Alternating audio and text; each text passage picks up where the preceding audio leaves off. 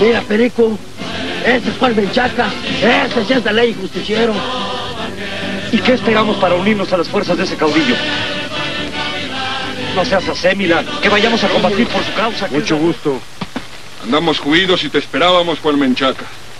Si el hombre es de ley y buena justicia, vénganse con nosotros. Unidos seremos más fuertes. ¡Vámonos!